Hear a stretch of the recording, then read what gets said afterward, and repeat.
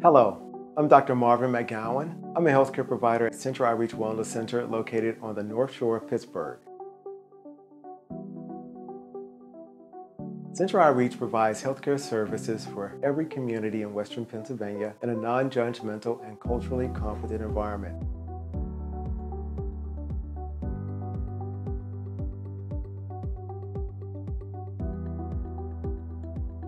These services include STI, HIV, and hepatitis screening and treatment, gender transition hormonal therapy, mental health evaluation, therapy and treatment, drug addiction and alcohol treatment, and LGBTQIA plus primary care services.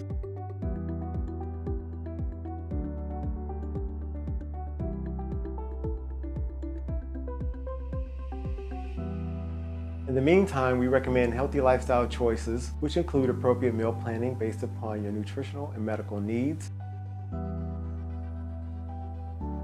routine exercise, proper sleep, stress reduction, and good relationships. We also recommend safe sex practices and avoiding the use of alcoholic beverages, illicit drugs, vaping with nicotine and tobacco products. Check out our website for a clinic near you and clinic hours. You can be reached at 412-515-0000.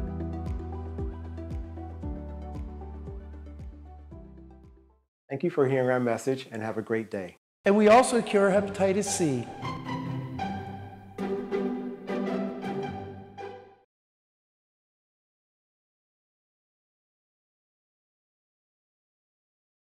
You can't mention Marsha P. Johnson without mentioning Sylvia Rivera. Marsha and Sylvia were always kind of icons of the Stonewall actions. and influential in organizing the anniversary marches for queer liberation, gay liberation as they called it at the time.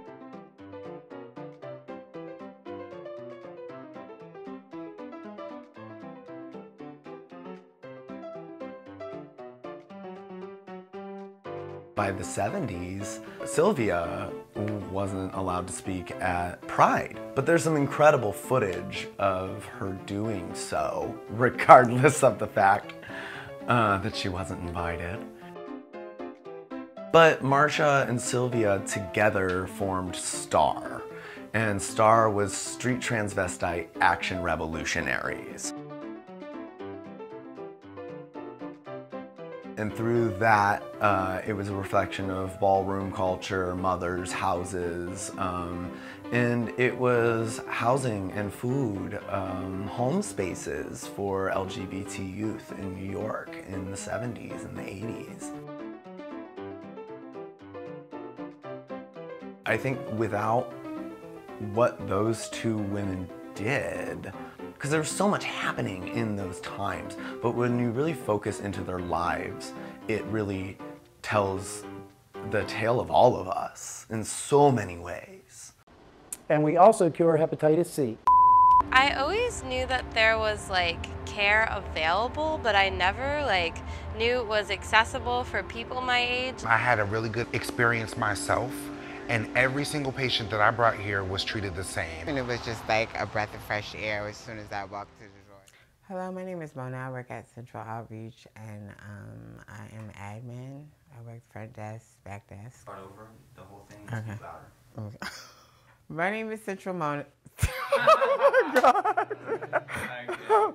I'm nervous. My name is Mona. I work at Central Outreach. I work the front and the back desk. I've been working here for about two and a half years now. I want people to know about trans women that we're just like any other woman. I don't really think about being trans. I just think about living. And I guess that we all we only just want the same treatment as any other woman or any other human for that matter. so the services that support trans girls here at Central Outreach, we have laser hair removal, we have HRT, we have um, doctor referrals for top and bottom surgery. So pretty much your whole transition you can get right here at Central Outreach. So if you want to start HRT, you should come on down first off and then see what it, meet with a doctor. You get the ball rolling. Usually I think they start you on blockers first, so that lowers your testosterone, and then they start you on estradiol, which makes you emotional AF, and then the process is starting. And then whatever you want to do, you don't have to have top surgery, you don't have to, to have bottom surgery because you see the woman you want to be, not what everybody else sees. So as long as you achieve the woman that you believe you are, I don't think that, you know, no one can define what you are as a woman or who you are as a woman.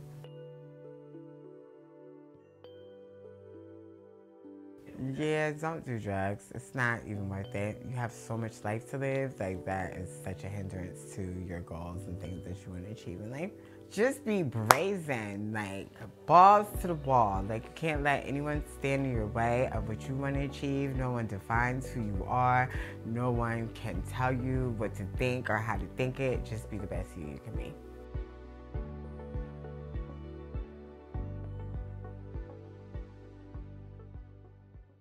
Hi, my name is Branden Dudek. I'm a medical case manager here at Central Outreach Wellness Center. Today I'm here to talk to you about sexual health and safer sex. A lot of people say, oh, it doesn't fit.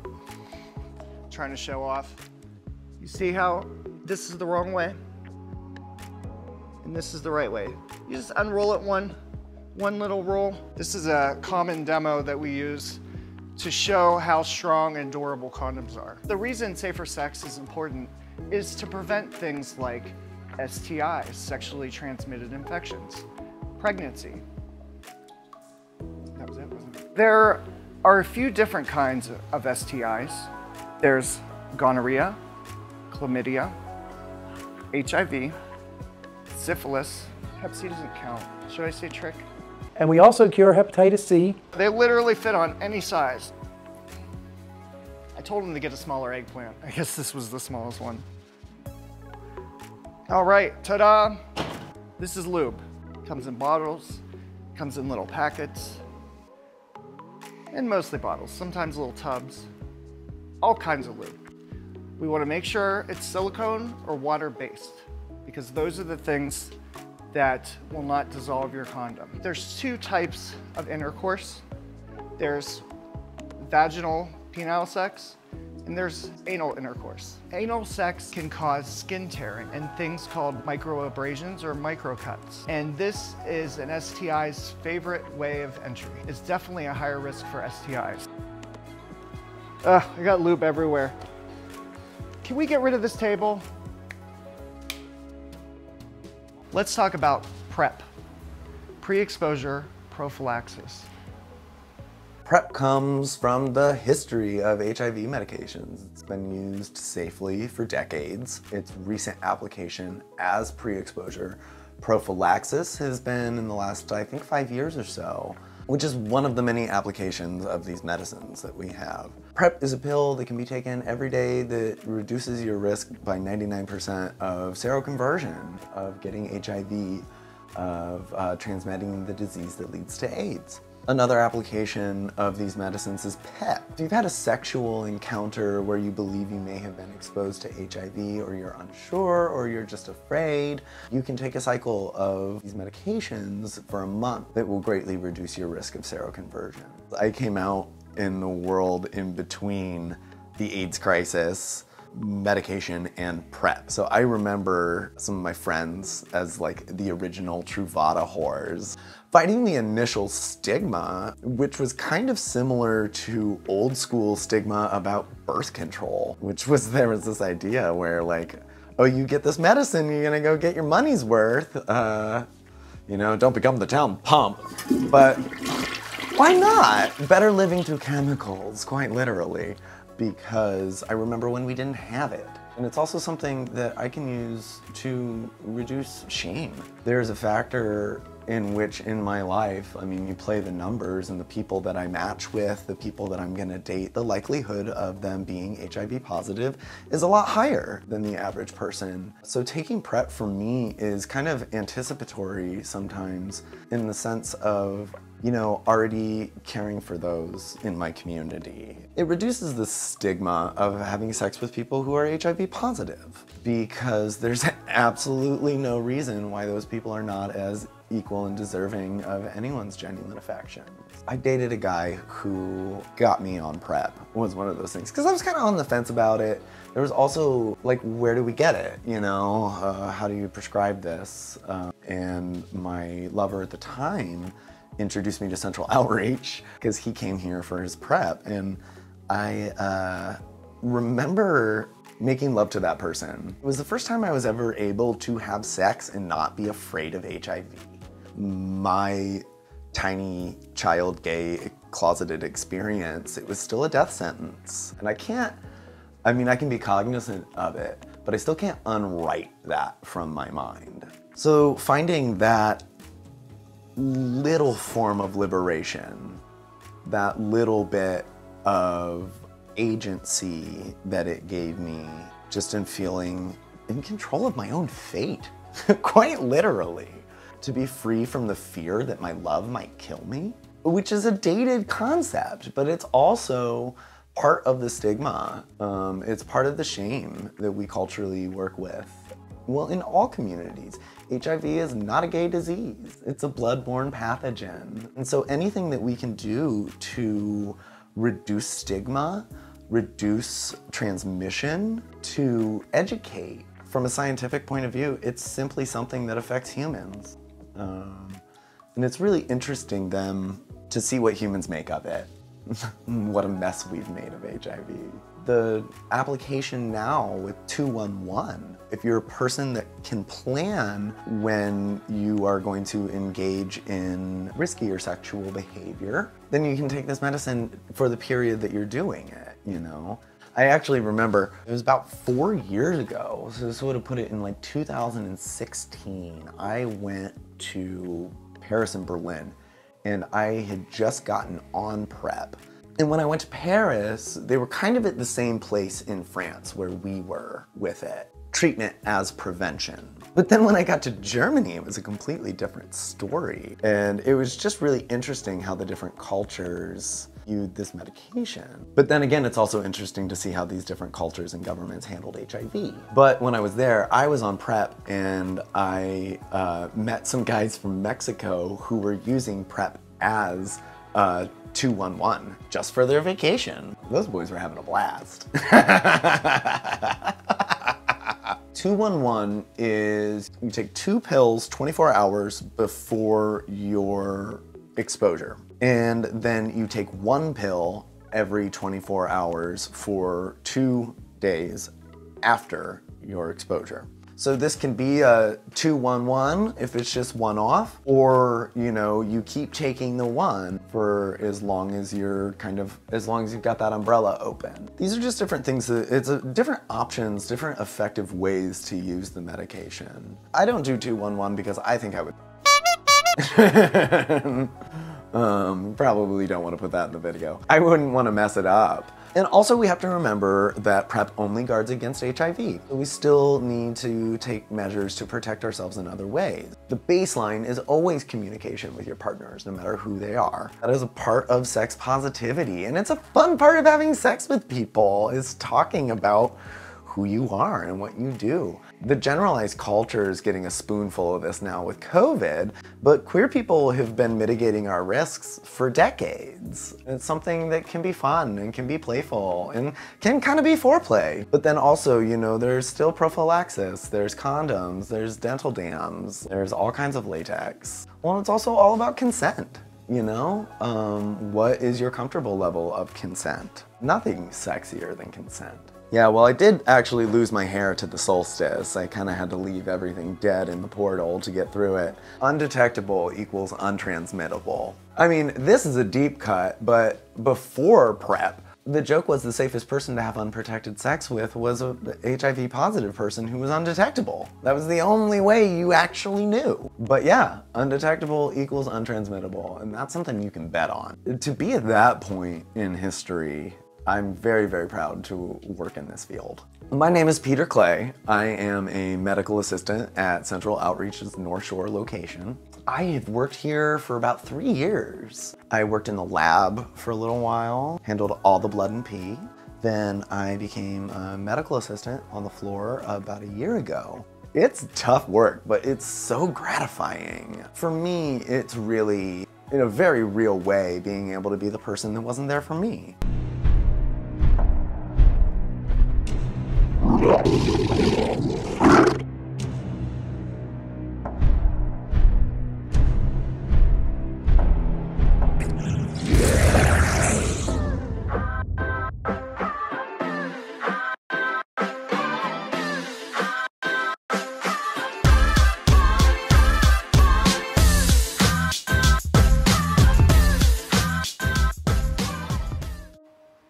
Unfortunately, PrEP wasn't around when I became HIV positive 16 years ago. Living with HIV is no longer dying from HIV. With the proper medication and taking care of yourself, you can live until old age. It's a lot like diabetes, just a simple medication that you take once a day, and it can prevent dying from AIDS, acquired immunodeficiency syndrome. HIV is a virus that's the human immunodeficiency virus. And this virus, once it enters your body, takes hold of your immune system and it uses your immune cells against you. What it does is it injects its genetic information into your cells and it uses your own cells to replicate itself, just like any other virus.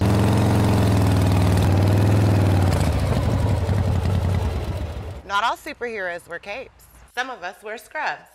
Walk in for a free STI screen. We also cure hepatitis C. No insurance? We have case managers for that. We live in an era where women really get to choose how they want to live their lives and are able to protect themselves. Before condoms and birth control were prevalent, women would often get pregnant without even trying. Another thing I would like to urge you to think about for the young women out there, you shouldn't expect the man to have a condom. You should always carry your own. Birth control control is in your power. Protecting yourself isn't somebody else's job. Nobody cares about you as much as you do. Oftentimes, men will use that as an excuse not to use condoms. So protect yourself. Most people who have STIs or HIV don't know their status. One in roughly four people do not know that they're HIV positive. So taking somebody's word for it is never acceptable. I always like to say, if you got into a car and someone told you not to put on a seatbelt because they're a good drunk driver, whose responsibility is it to put that seatbelt on?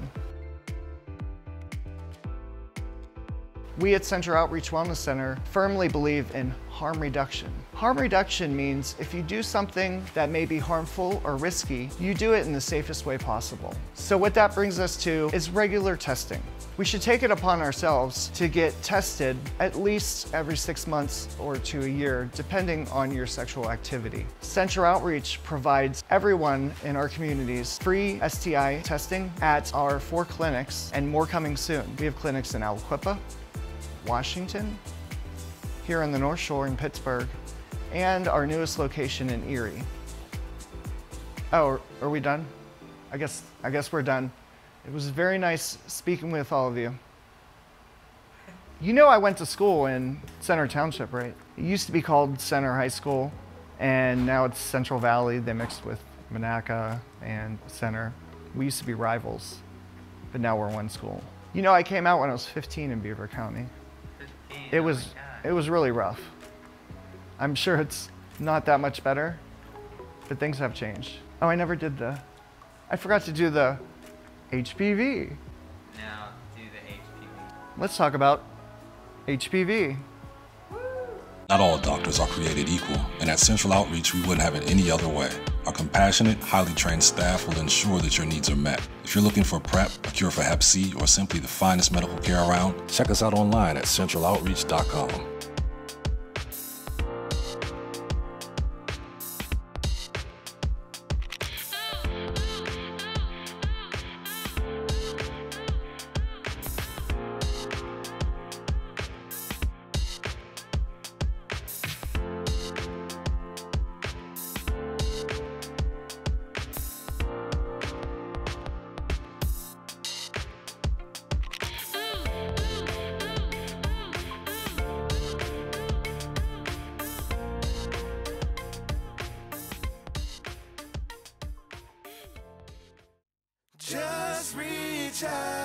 Just reach out.